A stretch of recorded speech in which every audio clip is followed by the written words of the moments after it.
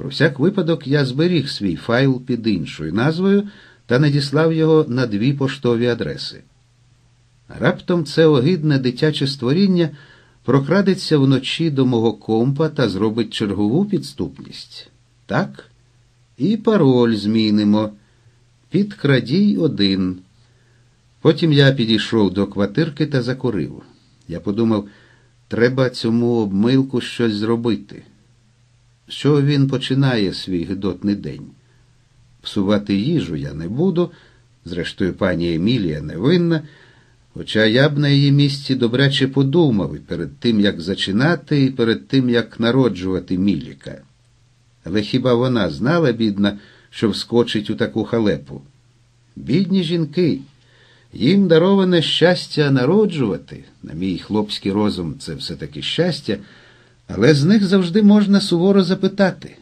Це ти народила таку от наволоч, вбивцю, гвалтівника, і немає в них жодної можливості тицнути пальцем в чоловіка. Ні, не я, це все він.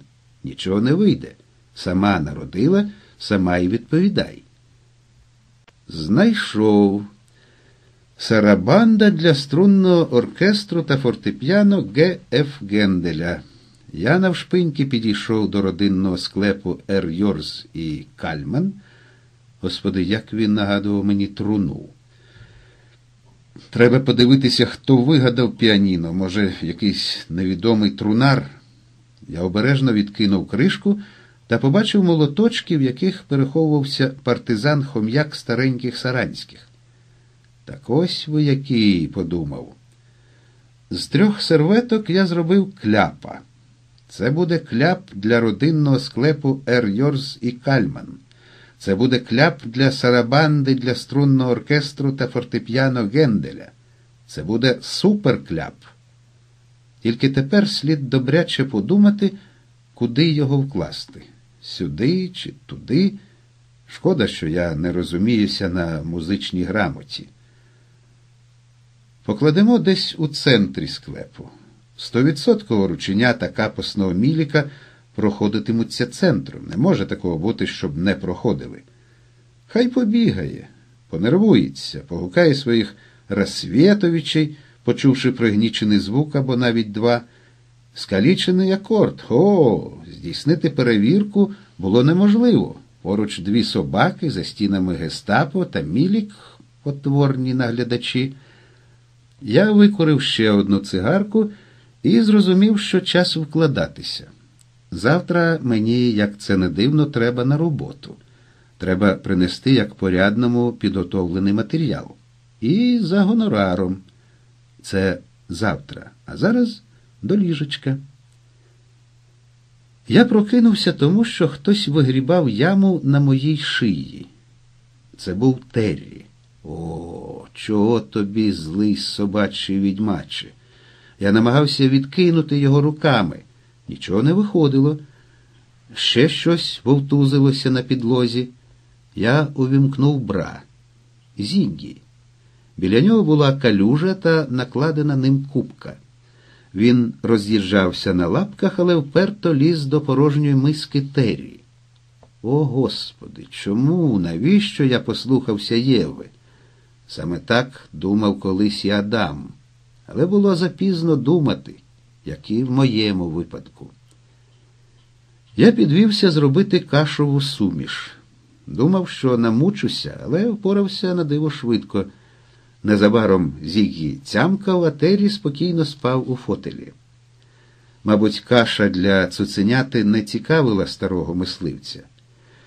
Все, друже, похарчуєшся, спи, і я вклався знову. Але Зігі спати не хотів. Він знайшов одну з гумових гидот Террі та вовтузив її по підлозі.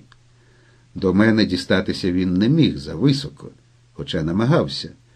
Потім він підповз до Террі, проте той на нього загарчав, тихо, хоча й переконливо. Зігі задзявкав. Зараз приїде гестапо, сказав я йому, і ти, маленьке дзявкало, дістанеш на горіхи. Чи як це зветься у вас собак? Спи. Він знову наблизився до мого дивану і давай підтягуватися на своїх неслухняних коротких лапках і так жалісно скавуліти, що я взяв його до себе.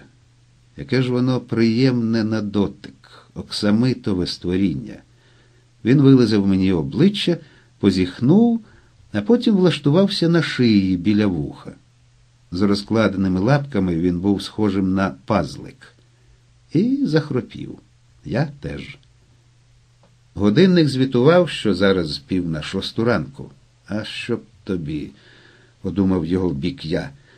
Він штрикнув мій бік шпажкою одиничкою.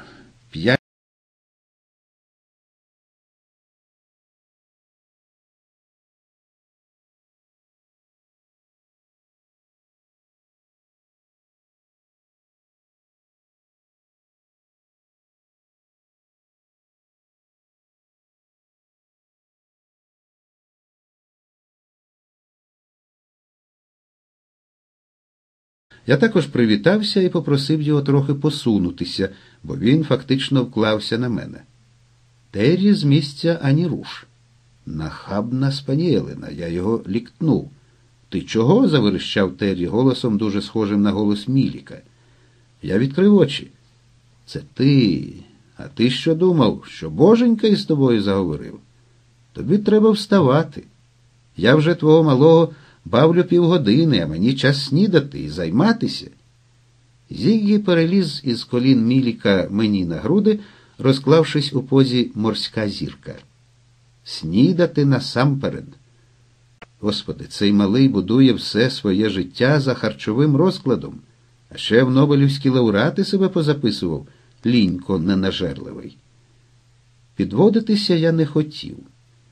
Тіло боліло, серце кололо, голова розколювалася. Гармонія та єднання. Слухай, котра година? Майже дев'ята. Тут вже я підхопився, бо статтю про китів мені треба було принести о 10.00. Ти чого? Мені треба бігти на роботу. Де твій батько? Думаю, вже на роботі, а що він тобі? Невже він вдягнув твою улюблену сорочку? Чому ніхто не накрутив будильника? Всі все накрутили. Ми що повинні знати, коли тобі слід вставати? Ти нам нічого такого не казав, а ні сіло, ні впало будити людину. Дякую, хай це робить хтось інший. Одного разу я розбудив Едіка. Я розповідав тобі про нього. Подивися на моє ліве вухо, а зараз на праве. Бачиш різницю? Ліве трохи стирчить, це Едік постарався. Ну і за що він тебе? поцікавився я. Едіка я добре розумів і миттєво виправдав. Є в Полонських цілком нормальні родичі. Розумієш, він любить маленьких жінок, низеньких та худеньких. Коли вони з ним в одному ліжку, їх просто не помічаєш. Вони мало відрізняються від однієї ноги Едіка, бо він кремезний. От. Едік склав дві ноги, як одну, але я звідки про це знав. Бачу дві ноги. От я й гепнувся на одну з його ніг. Виявилося, що це не нога, а його жінка. Вона заверещала, Едік прокинувся і схопив мене за вухо. Зрозуміло. От краще скажи мені, звідки в тебе така звичка залізати у ліжко до фактично чужих тобі чоловіків? Ти вважаєш це нормальним?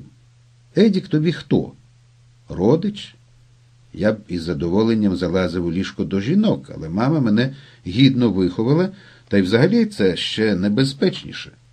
У кожному разі я не винний, що рано прокидаюсь і мені нудно, а ви всі дорослі забагато спите. То Гестапо вже на роботі. Він що, навіть не поснідав? Серйозне ставлення полонських до сніданків це родинна мантра. Цікаво, що вони думали про Сару з її невпорядкованим харчуванням та дієтами. Чого це він не снідав? Батько прокинувся, поснідав, навіть подивився твій телевізор та почухав твоє бульдоженятко, а ти спав собі. А Сарабанда? Що Сарабанда? Була Сарабанда, Генделя, Г.Ф. Була, ти ж бачиш, що я вже на кухні тусуюся, вже з півгодини як. Крім того, я встиг Тері вивезти, нагодувати, а ти на мене ніяк не реагував. Оце заліз до тебе в ліжко, а ти й далі спиш. А Тері де? Дрімає під столом. Ти нормально почуваєшся, гей? Почувався я не дуже нормально. Я складав речі до сумки, натягував футболку, джинси. Каву мені можеш зварити? Малий на диво погодився. І, варто сказати, кава в нього вийшла непогана.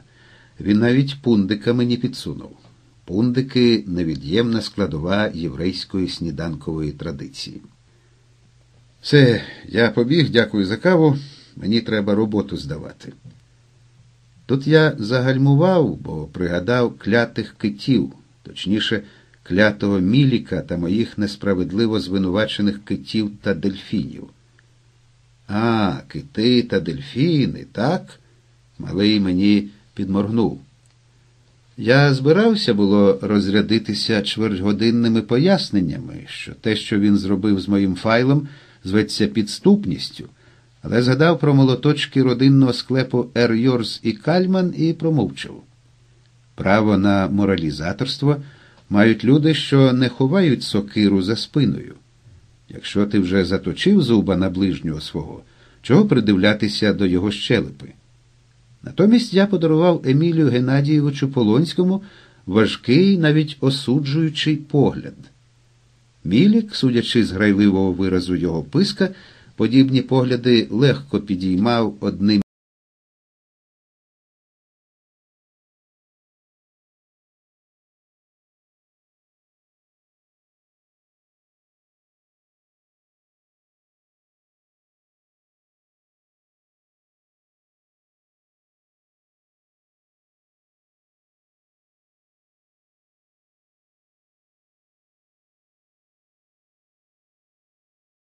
Далі, як завжди, мовчки читав текст. Я такі моменти ненавидів. Стоїш як бовдур і не знаєш, подобається йому це чи ні. Треба ж бути настільки неемоційним. Талію не заважай. Слухай, можу я попрацювати трохи за компом, поки ти читаєш? А чим я тобі заважаю? Працюй собі. Але тобі цікаво буде дізнатися про те, що наколінна праця, як зветься робота в будь-якому місці з лептопом на колінах, визнана Асоціацією американських психологів малоефективною та шкідливою для потенції. Далі знову поринув у мій текст до китів та дельфінів. Я виразно бачив, як він пливе натренованим брасом. Волосся блищить, ласти також. Я однаково поліз у лептоп. Потенція. На даний час моя жвава потенція мені якраз заважає. Але про всяк випадок лептоп я прилаштував практично на колінних чашечках. Лист від двох замовників. А це що таке? Лист від якогось злого Володимира, який пише, що моє нищівне ставлення до ведмедів тайги свідчить про те, що я огидний хохляцький націоналіст. Дивно, що тебе не звуть Тарас Шевченко або Петлюра Махно, Бендерівська ти зараза. Я люблю відгуки на свою творчість, навіть збираю їх до спеціальної теки. Сара наді мною насміхається. Цей відгук збережу обов'язково. Може, варто на стінку причепити, чим я гірший за Міліка? Я відповів, що Махна звати Нестор, Петлюру Симон. Людини на ім'я Петлюра Махно, на жаль, не існує. Якби існувала така вправна людина, вона б до вас обов'язково простягнула свої добре озброєні руки. А от замість Бендерівська слід писати Бандерівська, якщо мається на увазі не Остап Бендер, а Степан Бандера. А от якщо він мені не вірить щодо небезпечності тайгово лісових ведмедів, хай обмаститься козячим жиром, прикрасить себе відкритими бляшанками сніданку туриста та відчини посольської і завітає до тайги. Потім мені буде про що поговорити з його невтішними родичами. Поки я натхненно дряпав своє послання, прийшла відповідь від Аврамовича. Привіт, пацюня. Аврамович дуже любить вигадувати ніжні імена. Цим він мені нагадував маму Тимофія. В минулих життях вони, певне, були родичами або близько спілкувалися. Мої Саруся, Віруся та Денюся дійсно в Мексиці без зв'язку.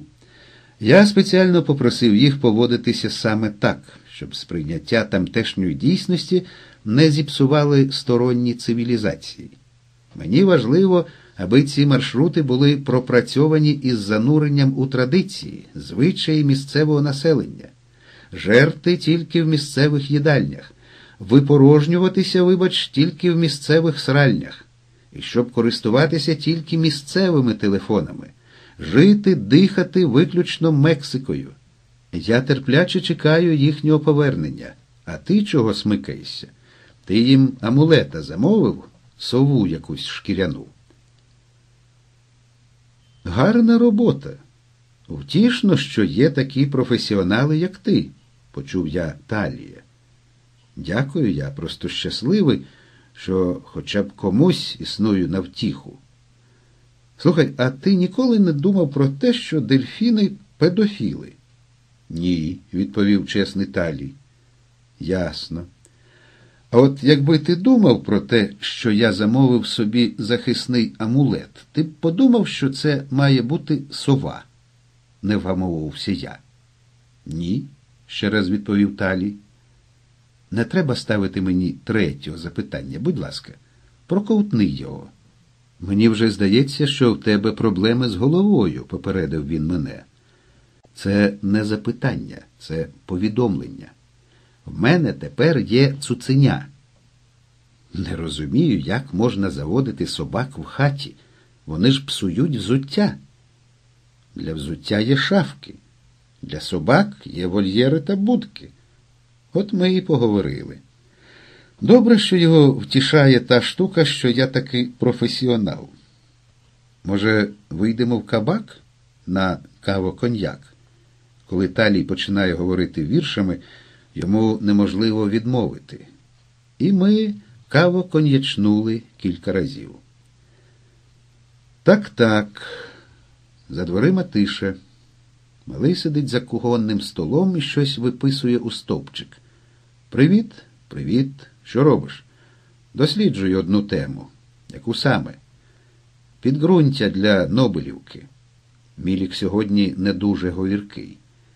Я підійшов ближче і прочитав таке. Валерій Лобановський, Віктор Чанов, Михайло Михайлов, Володимир Безсонов, Андрій Баль, Сергій Балтача, Олег Кузніцов, Анатолій Дем'яненко.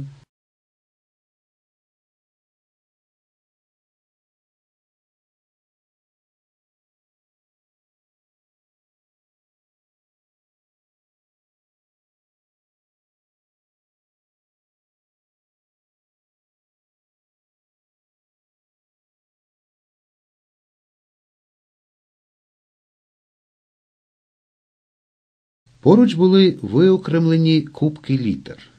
Дуже схоже на щось таке: 15 В, 7 Б, 21 О, 3 Ш, 14 Е, 6 Ч, 10 Л, 4 Ш, 16 Н, 13 А, 3 Я, 10 К, 5 Р, 1 Д.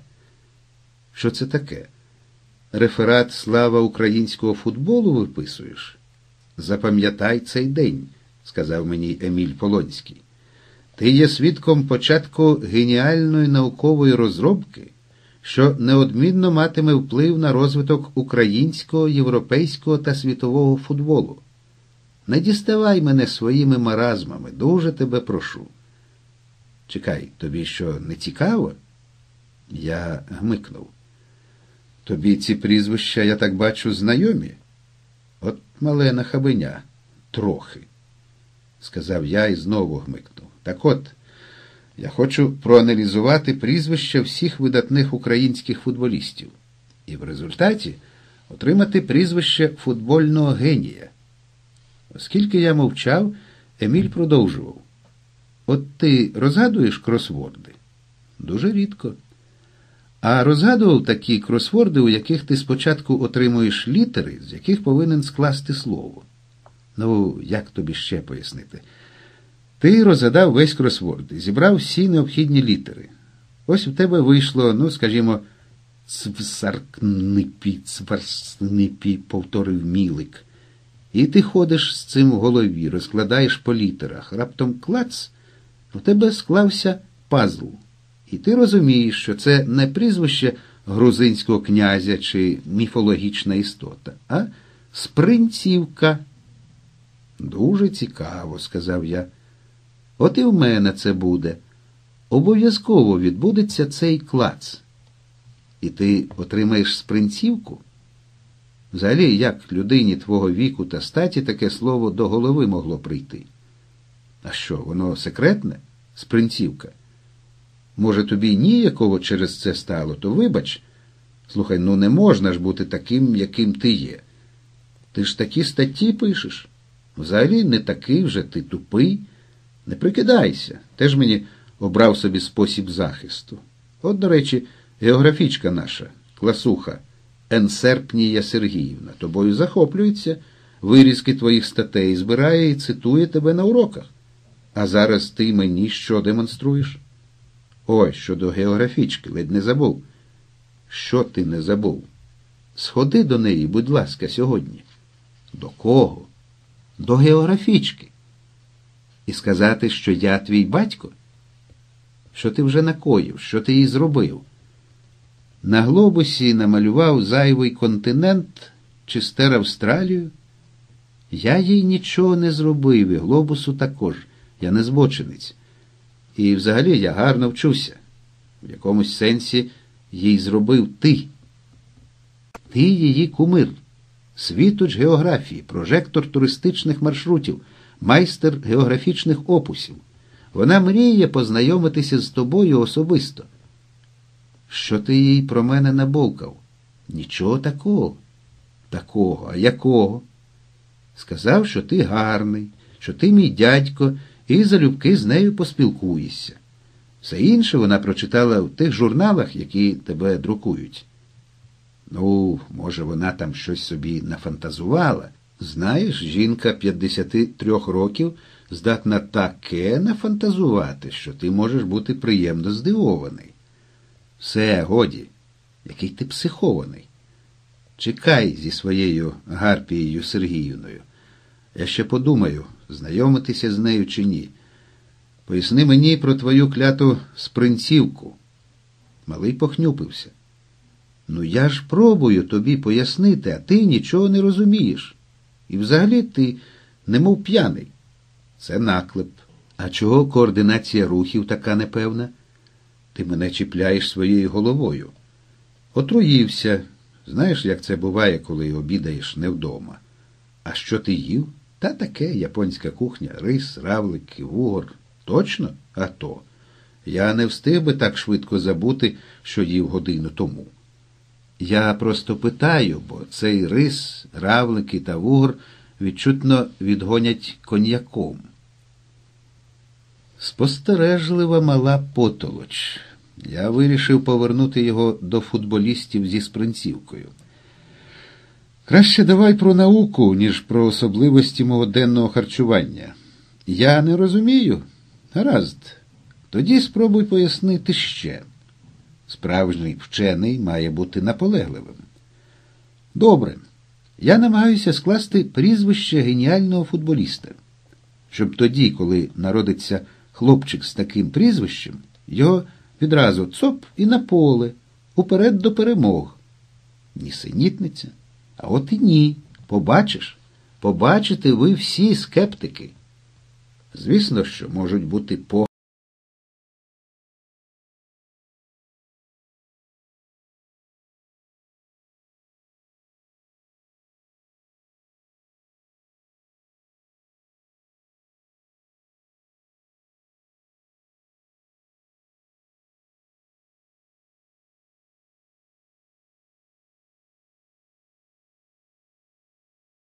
Малий мав напрочуд завзяти і запальний вигляд.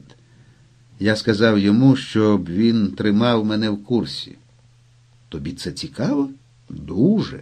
А паралельно я працюватиму над тим, якого числа та в якому місяці найімовірніше народиться цей футбологеній. Супер, мілік, гол, тобто молодець. А якщо врахувати теорію підштовхування, взагалі все буде добре. Це що за чортівня? Теорія дуже проста. Коли ти чимось сумлінно займаєшся, ти спонукаєш до появи речі, пов'язані з твоєю діяльністю або навіть з думками. От я вираховуватиму прізвище геніального футболіста, а він буде народжуватися.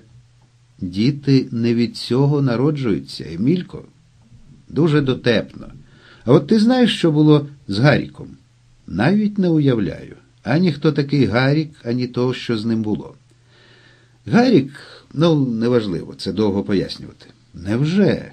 Що ніяк не пов'язаний зі старенькими Саранськими, з Жоріком, Елькою та Яшею? Ніяк. І не є племінником віолончелі? Це ж треба таке? Не часто, але таке трапляється.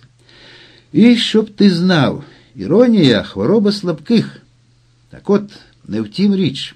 Річ у тім, що колись на Новий рік, а за східним гороскопом то був рік вепра, його дівчина подарувала йому іграшкове поросятко. Нікому, крім Гаріка, порося не сподобалося. Мати Гаріка нарекла його мухриком, тому що він був якийсь брудний, на її погляд. А от Гаріку подарунок дуже подобався, бо був у болотяних плямках. Неординарне порося, камуфляжне, так Гарік його звав. Дівчина Гаріка теж вважала, що порося неординарне, та побажала, щоб рік у Гаріка видався таким самим неординарним. А бабця йому сказала Гаріку, дитинко, здихайся цієї тварюки, бо підеш до армії цього року.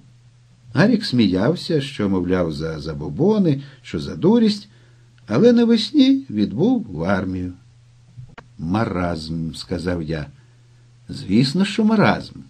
Університет, де він вчився, позбавили акредитації, прибрали військову кафедру і бідного Гаріка цоп закамуфляжили.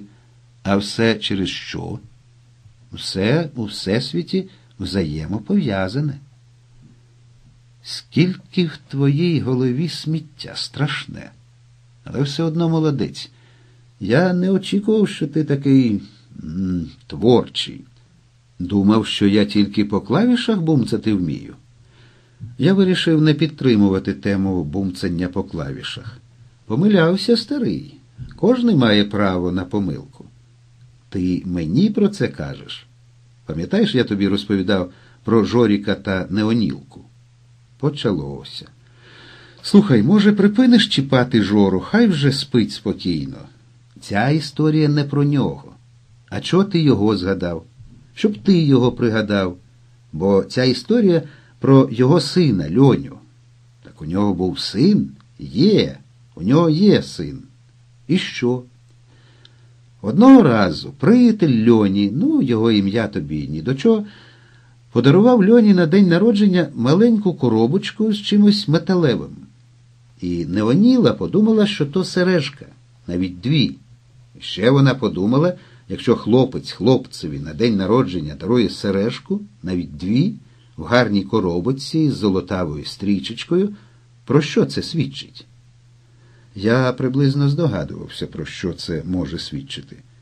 Це свідчить про те, що льоня голубий. Як вона вбивалася, ти б чув. Мамі телефонувала тричі на день і вночі також. Так плакала, нам всім було її шкода. Вона льоню любила, а гомосексуалістів дуже не любила. Завжди, коли бачила їх на екрані чи в газетах, плювалася. То виходить, що плювалася вона і на власну кровиночку. Хоча моя мама була здивована огидним ставленням Неоніли до голубих. Маючи такого чоловіка, як Жорік, який за бабами бігає, мов пияк по горілку, треба цінувати, що існують чоловіки, які поза тими справами. Але ти сам знаєш, що таке жіноча логіка. Неонілка повірити не могла, що льоня таки так. Він, вона вірніше. І що? знову поцікавився я. А нічого. Потім Жорік знайшов цю коробочку, добре ще до того, як Неонілка полізла з сином стосунки з'ясовувати. І виявилося, що в тій коробочці риболовний гачок та зимова риболовна мормишка. Я почав реготати. А ще є історія про хімію та саркому. Якось старенька Саранська подумала, що їхня Елька захворіла на саркому. Господи, хай Бог милує від такого, що ти верзеш. Правду. Елька по телефону говорила подрузі, що йде на хімію, хоча й волосся в неї випадає.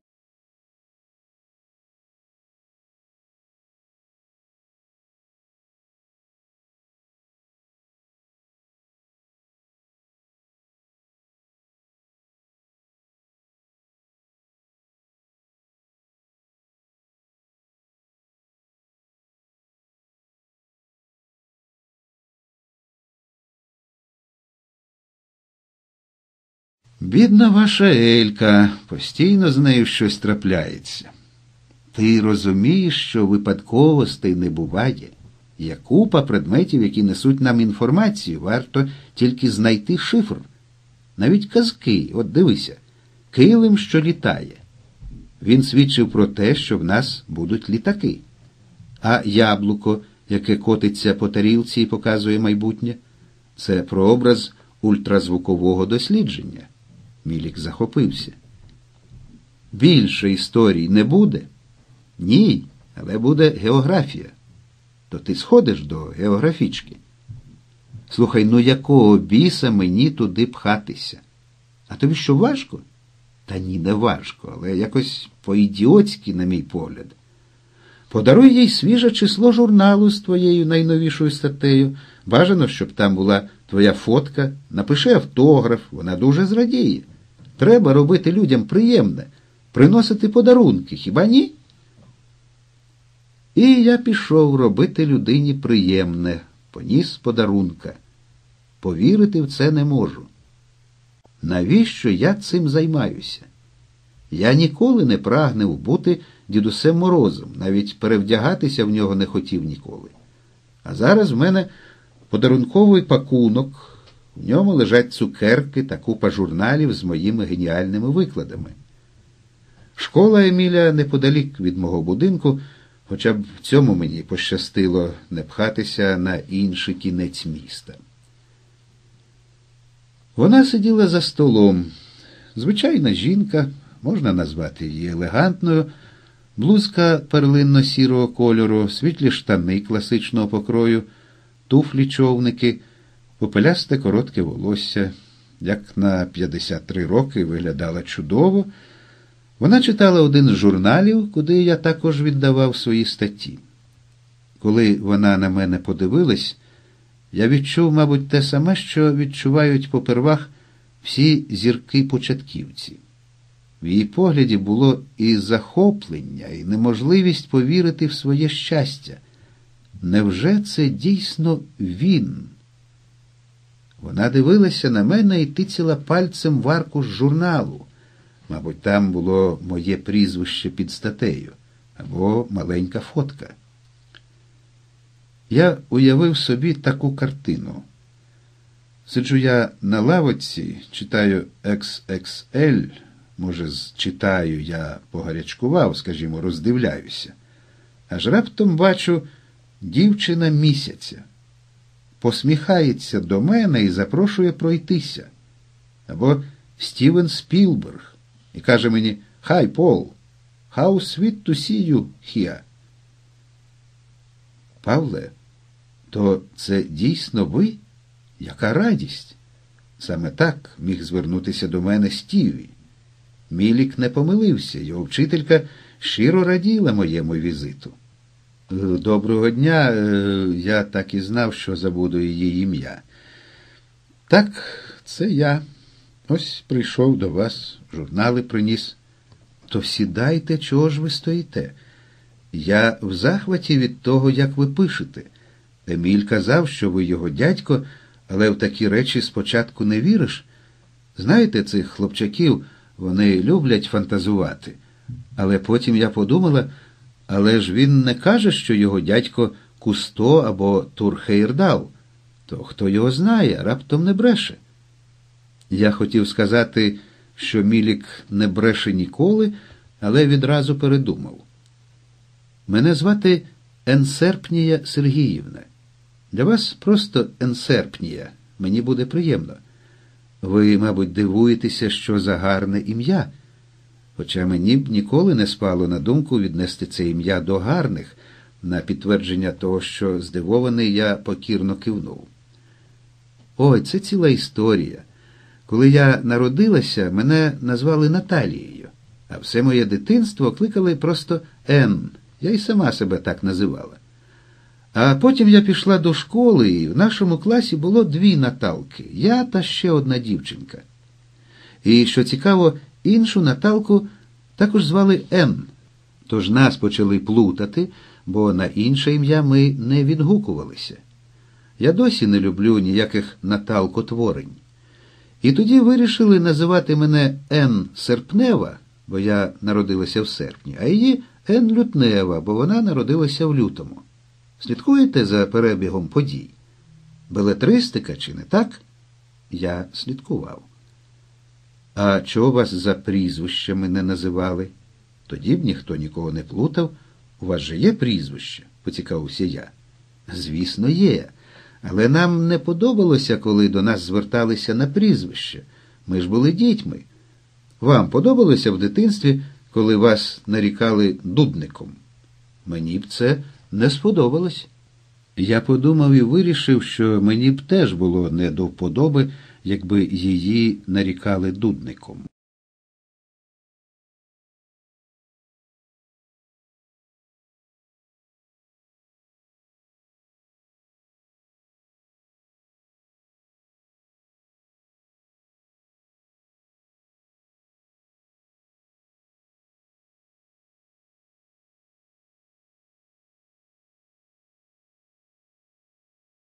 Дуже цікаво. Дякую вам за цю історію. Дуже у вас затишний кабінет, але мені час іти. Справи, справи. Проте Енсерпнія так не думала. Вона почала закип'ячувати воду на чай. Що ви, Павлику, зачекайте? Ми не встигли поговорити про вашу творчість, мандри. Мені дуже цікаво, якої ви думки про викладання географії в школах. Зараз знаємося ваших чудових цукерок. Прощавай, ідеальна фігура, позмовницьки підморгнула мені вона. Тільки цього мені й бракувало. Я уявлення не мав про викладання географії в школах. Мало мене цікавило і викладання географії у вищих учбових закладах. Я був поза цим. Можна назвати мене письменником. Останнім часом мене вабив підхід залишатися вдома, мандрувати інтернетом і писати чудові статті. А інколи хотілося побачити щось на власні очі.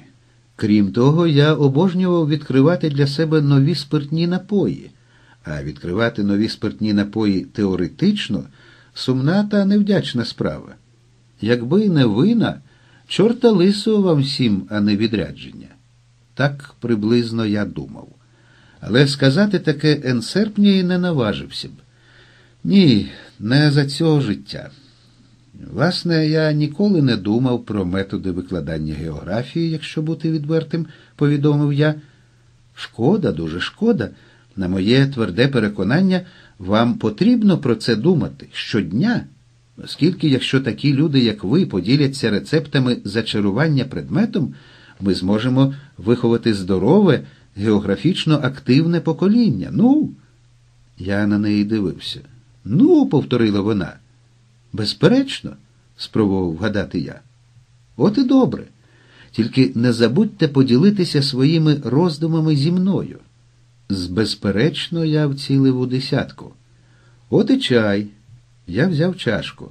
Ви, певне, здивувалися, Павлику, як то я не питаю, який чай ви любите.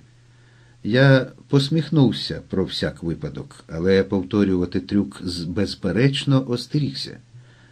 А це тому, що я дуже уважний читач. Я читала вашу статтю про правильне заварювання чаю. І ось, ну, я здогадався, що мушу скуштувати. О, чудово, дякую. Бачите, якщо ви переконали таку стару та вперту жінку, як я, в тому, що вона не вміє заварювати чай, а потім її перевчили, і це тільки за допомогою свого слова, то з молодими, гнучкими мізками ви здатні творити дива, Павлику, просто дива. А я думав, щоб таке сказати, щоб не образити її і отримати шанс зникнути звідти. Ото було б справжнє диво. Вона розповідала мені про своє бачення викладацького процесу, про мої статті, про неймовірність Флоренції, де вона побувала цього літа, в неї там живе сестра, про сучасні інформаційні технології і про те, що субтропіки наступають. Енсерпніє Сергіївно, нарешті наважився я. Так? Здається, я обірвав її думку з приводу помідорного фітофторозу, який впливає на свідомість людини майже так само, як ЛСД. Звідки вона знає про вплив ЛСД? Я вже не кажу про те, навіщо ласувати фітофторою. Розумієте, сьогодні в мене заплановано дуже важливу зустріч, якраз з фахівцями по хворобах помідорів. Мені вже було зле від того, яке казна, що я несу, та зупинитися я не міг. Тому дуже вдячний вам за ці думки. Вони допоможуть мені під час розмови, але я змушений вас залишити. На мене чекають. Невже вийде? Ну, чергове ну. Безперечно, впевнено сказав я. Добре, тоді до наступного тижня. До наступного. Звісно, я вам ще нагадаю, і тему вашої лекції ми проговоримо на вихідних, але дітей до зустрічі з вами я почну готувати завтра. Я так і не зрозумів, який спосіб я погодився дати урок однокласникам Еміля Полонського. Він мені за це дорого заплатить.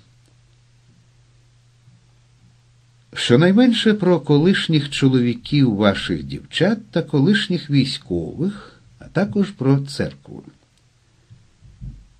Доброго вечора. Цікаво, цих слідчих вчать розмовляти таким тоном, що навіть прості слова звучать як звинувачення. Хай знайдуться сили її витримати після енсерпнії. Доброго вечора, е, Тамаро Антонівно. Тримай. З цими словами Тамара Ментяра втулила мені до рук цупкого папірця. Дякую, про всяк випадок сказав я. Цупкий папірець виявився почесною грамотою, підписаною міністром внутрішніх справ. Це точно мені? Певною мірою так. За що? Що за що? Це мені за що? не зміг стриматися я. Це почесна грамота для твого малого. Для Міліка? За що? Неймовірно допитлива людина ти. В органах ви працювати. Малий твій запитав, чи є в нас почесні грамоти. Я кажу, що, звісно, є. Тоді він попросив принести, я принесла. Не уявляю, для чого йому це знадобилося. Може, тебе хоче нагородити? Тільки не питай, за що. Досить з мене цього защокання на сьогодні. Далі ми їхали мовчки Тамара Ментяра та я з почесною грамотою від міністра внутрішніх справ. Квартира знову зустріла мене тишею. Цікаво, а куди зникла сарабанда для струнного оркестру та фортепіано Генделя? Невже мій план із затиканням молоточків спрацював настільки, що малий не впорався з цією проблемою дотепер? Хоча, може, вовтузиться досі з вираховуванням прізвища геніального футболіста? Привіт, є хто вдома? Мені назустріч вибіг Террі, привітався та знову зник на кухні. Харчується, чи що? Зіггі зустрічати мене не вийшов, важко йому, поки збереш лапки докупи, вже й втомився.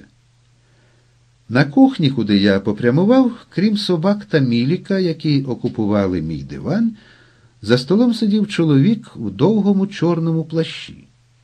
Його сиве волосся було зібране у низький хвіст, а на підлозі ближче до шафок лежав широкий матрац.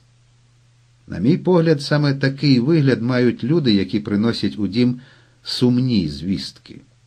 Але чи приходять ці люди з матрацами, я знати не міг. Мені здається, що це занадто приносити одночасно погані звістки та матраци. Визначитися треба, що з собою тягти. З іншого боку, може, це Расвєтович, той, хто лагодить роялі. Доброго дня, Павле, тим часом промовила до мене чорна людина глибоким, проникливим голосом. Таким голосом якось в метро мене вмовляли пожертвувати гроші на поліпшення стану київських дитячих майданчиків. Я тоді не пожертвував, тому в нас дитячі майданчики і залишаються схожими на миршавенькі сарайчики. Ви, мабуть, трохи здивовані моєю присутністю у вашому домі. Я отець Макарій.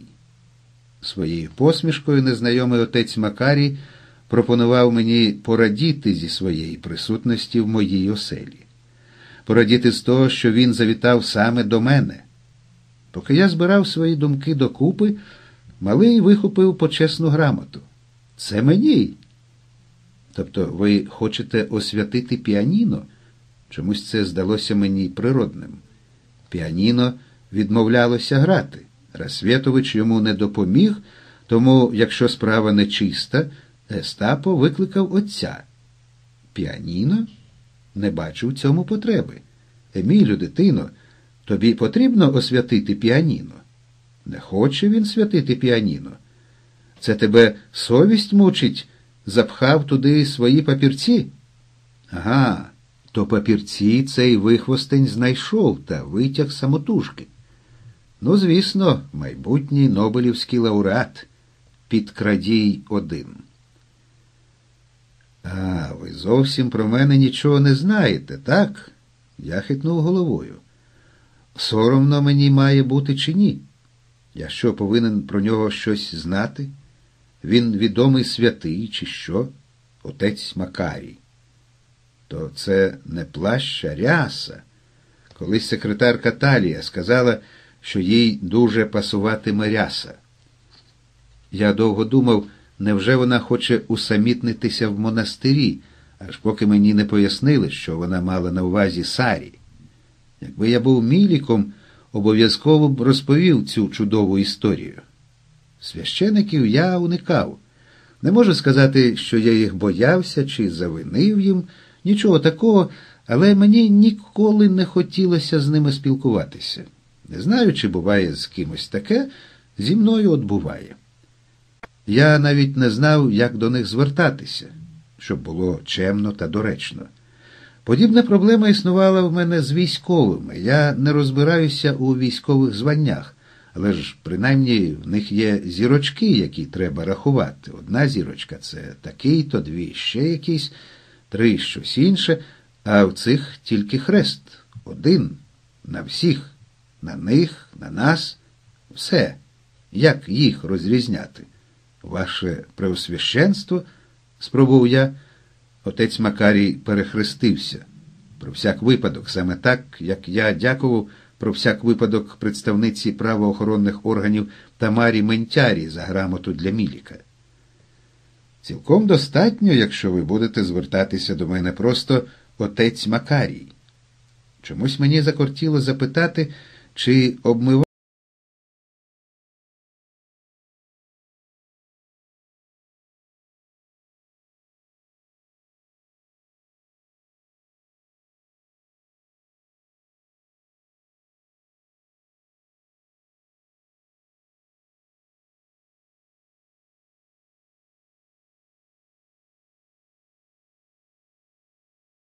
Шануйся, дитино, не забувайся, дорікнув Мілікові Валєрка. Не сподобалося щось. Не через дідуся ж Леніна він його шпиганув. Але як я міг не вирячитися? Чоловік Сари? В моєму будинку? Господи милий, він колишній військовий, теперішній священик.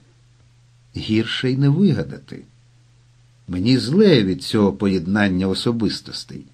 Як на мене, з нього було б достатньо бути або чоловіком Сари, або священником, або військовим. Ні, він примудрився це все поєднати. А ще борода та сивий хвіст. Цього я також не виношу. Колишній чоловік Сари. Тим не менш буркотнув я, наголошуючи на слові колишній. Ви ж військовий. Мене охопило обурення. Зрештою, що це за бал маскарад? Військовий то й будь ним. Ні, вони примудряються ще й у рясу розряджатися. Блазні. Колись був ви праві, безперечно. Тобто, як це колись? Ви ж офіцер. Я навіть пам'ятаю ваш силует під нашим університетом біля червоного автомобіля. Та що це взагалі таке? А яка тобі різниця? Ну от яка тобі різниця, чим він, тобто Валерка, займається? Яка тобі різниця, чиї накази він виконує міністра оборони чи Господа? поцікавився Мілік. Я його проігнорував. Заспокойтеся. Невже ви або хто-небудь з ваших друзів ніколи не відчували покликання, не змінювали долю? Змінював, але не настільки. Це вже занадто. Як це не настільки? Твій Тимофій колись отруював людей горілкою та пігулками, зараз допомагає їм порадами. Це фактично те саме. Голос покликання та зміна долі, знову мілік. Я зараз заб'ю тебе, попередив я малого. Рідні мої, браття, вгамуйтеся, подумайте про те, як важливо зберегти мир за умов війни стати і віку, міста та села. Я уявлення не мав, як з ним спілкуватися. Колишній чоловік Сари, Валерка, військовий, отець Макарій. Я не вмів спілкуватися зі священниками. Принаймні, коли я бачив когось із релігійників, мені хотілося говорити з ними пошепки, а я не хотів шепотіти весь час у власному будинку, так наче хтось тут помер. Щодо військових, то в мозку кружляло одне запитання в якому полку служили. Я усвідомлював, що воно ідіотське, і відчував, що потім бесіда обов'язково розвиватиметься у напрямі чоловік, що не служив в армії, не чоловік, баба, що не народжувала, не баба. Я не служив, уникав цього і нікому не порадив би йти до армії. Але цей вовкулак Валєра мене розуміти не буде. Військово зобов'язаний розуміти пацюка цивільного не зобов'язаний. Ги-ги-ги. Хоча, може, зараз і зрозумів би, адже він посланець Божий. Я не служив, тобто не був мужиком і не народжував, цебто не був бабою. Я був воно, істота, яку не приймали чоловічий та жіночий світи. На відміну від військового та отця Макарія, до Валєрки, як до колишнього сариного чоловіка, в мене було багато запитань. Я от ніяк не міг зрозуміти, як вона могла вийти за нього заміж, як вони жили, чого розійшлися, вже не кажучи про сумнозвісний перший раз Сари, який мені спокою не дає. Але як про все це запитати, коли він тепер у рясі, чорти його забирай? Прости мене, Господи, сподіваюся, ти відчуваєш різницю між щирими віруючими та нещирими служками твоїми. А ти обідав? знову Мілік.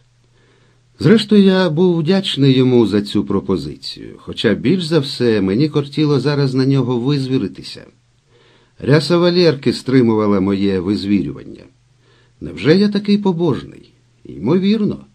Але моя побожність на Еміля не поширювалася, тому я пішов у наступ на малого сарабандиста. Ти тепер з тобою. Навіщо тобі грамота МВС? Це тобі що, дитячі забавки? На стінку собі хочеш повісити для формування героїчного образу? Яке ж там? У нас бачив, яка родина. Купа неадекватних персоналій, ще й ти додався. А раптом щось. А тут бланк. Тільки прізвище впиши і все готово. можна показувати будь-якому судді. Переконліва шитюка, сказав би Конрад Карло.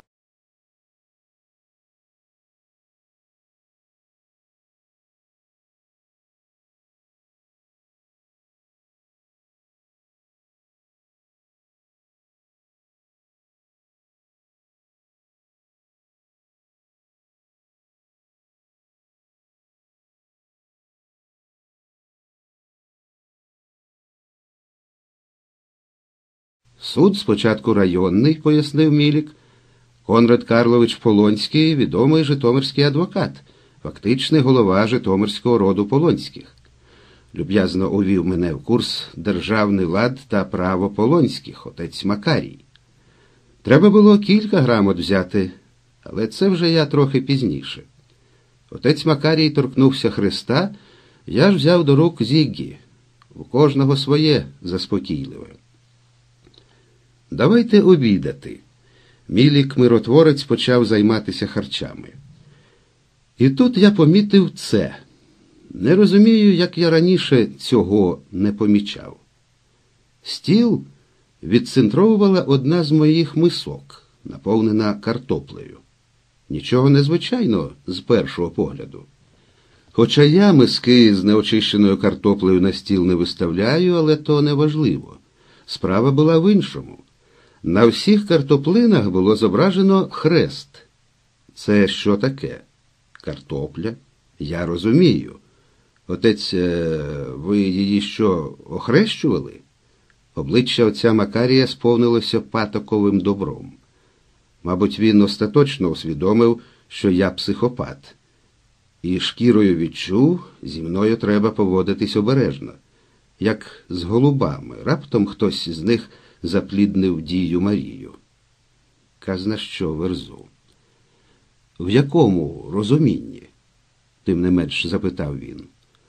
У православному, батюшко, виключно у православному, відповів я. Отець Макарій повільно кліпав очима. Може, він не православний? Чи святили? Може, у вас програма така в патріархаті?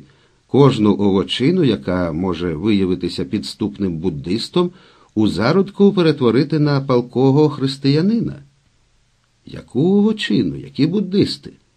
Про що ви говорите?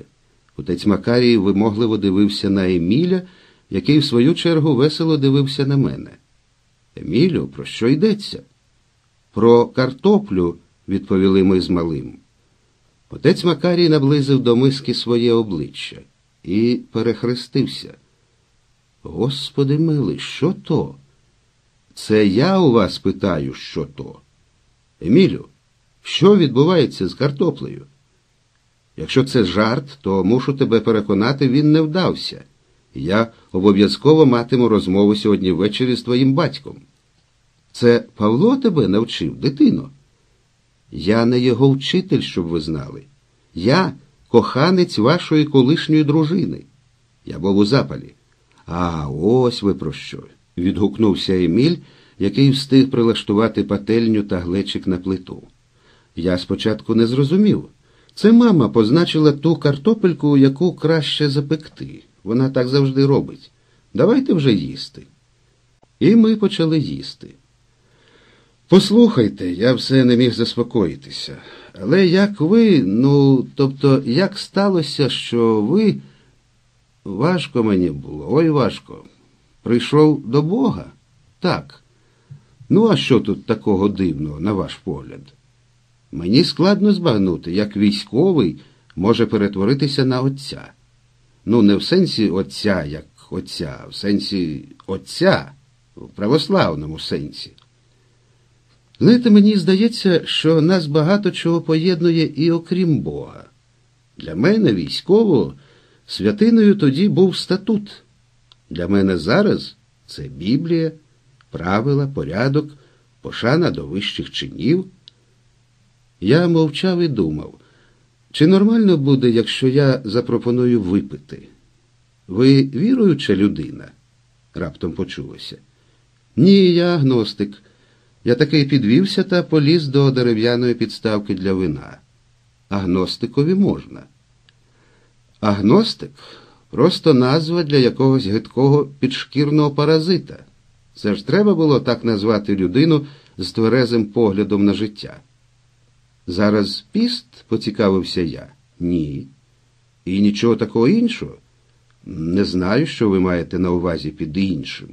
Сьогодні, зокрема, Державне свято Чеської Республіки. Треба відсвяткувати. Ви таке святкуєте, отче? Запрошений до амбасади, відказав сором'язливець. Я обов'язково мушу випити. Нас із Сарою, зрештою, поєднав справжньо фальшивий моряк, якого ми частували пивом у Празі. А ви, до речі, як з нею познайомилися? Раптом настрій в мене покращився.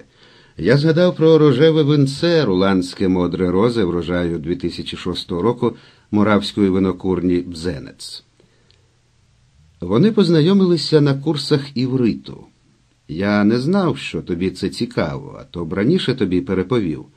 Треба було мене попросити, я б все як у романі виклав, послідовно.